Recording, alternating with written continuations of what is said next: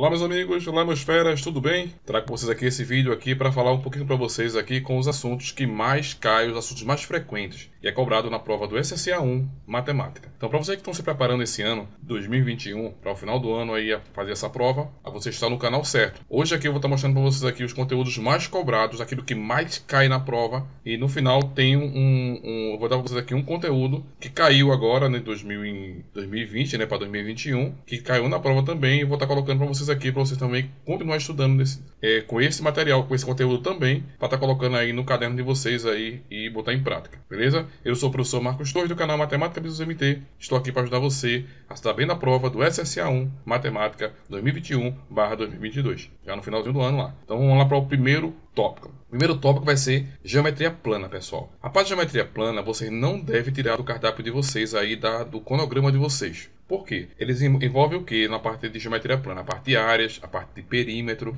certo? É, procura aquela parte de vértices, arestas, é, tudo isso aí agloba o conteúdo da parte de geometria plana. Então, estudar isso aí que cai bastante. Geometria plana é o carro-chefe da prova do SSA1 Matemática, beleza? Vamos para o segundo tópico. Um tópico é exatamente a representação gráfica de funções.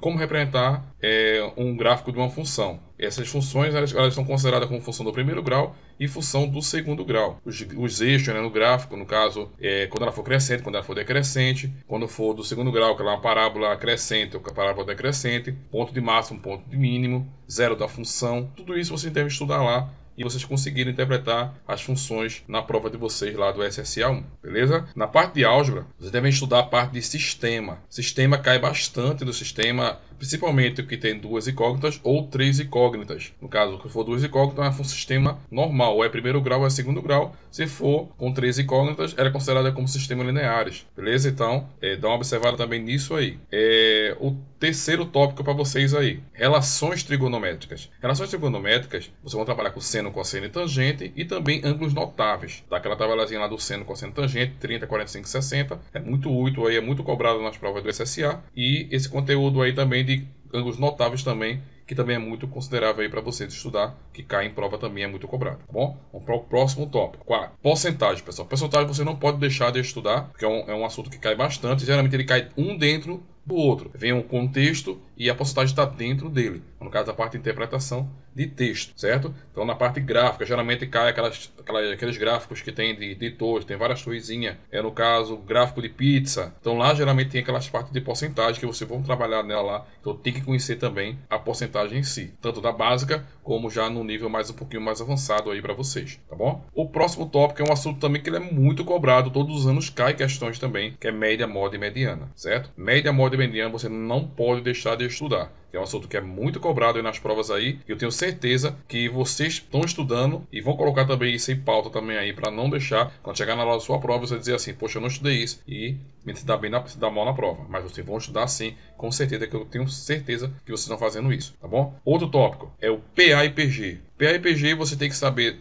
tanto a equação geral como a fórmula da soma, tanto de, das duas, né, de ambas, da soma da PA ou a soma da PG. Então tem que saber tudo isso aí nesse contexto aí, o que é razão, que é o primeiro termo, que é N, que é a quantidade de termos, que é o AN, que é o último termo. Então, montando isso aí, vocês vão trabalhar com a parte de PA e PG. Lembrando que o Q na PG é considerado como Q, né? E a, é, o R na, na PA é considerado como razão. Ela só altera essa situação aí, beleza? E outras coisas que também é cobrado no, no, no, no SSA, mas não é com tanto a ênfase, mas também não pode deixar de estudar. Eu vou até coloquei aqui, ó, grandezas proporcionais, inversamente diretamente proporcional. Tem um, aquele caso você tem um valor e vai dividir em três, quatro partes, de modo que vai dividir e tal e assim vai. Vou estar colocando no vídeo para vídeo para vocês aí com todos esses conteúdos resolvidos com questões que já caíram na prova do SSA, beleza? Não pode deixar de estudar também MMC, juros simples e juros compostos, tá bom? Razão e proporção, como eu já falei, e probabilidade, pessoal. Probabilidade não pode também de, de, de deixar de estar no, no seu cronograma de estudo aí, tá bom? E como eu falei a vocês que no final eu daria para vocês um conteúdo que caiu este ano, 2020, 2021, que no caso foi da prova de 2020, não é isso? No caso, foi exatamente a equação do primeiro grau. Eu vi um,